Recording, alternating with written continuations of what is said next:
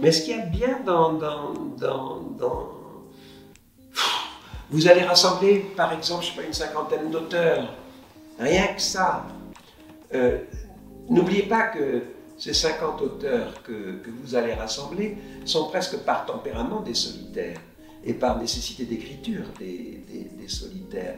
Et que ces gens-là euh, rencontrent la conséquence vivante du fait qu'ils écrivent, qui sont des lecteurs, ça aussi, c'est. À chaque fois que ça se passe, il se passe quelque chose qui est de l'ordre du, mystère laïque, quoi. Comment est-ce que nous. Parce que un écrivain, quand il écrit, euh,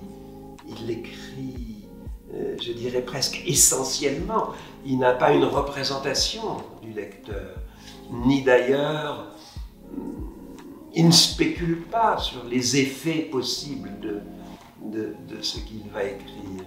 Et puis tout d'un coup, cette activité solitaire, abstraite, euh, qui trouve dans des manifestations comme les vôtres l'occasion de voir apparaître les conséquences qui sont des bouilles des regards comme le vôtre en ce moment.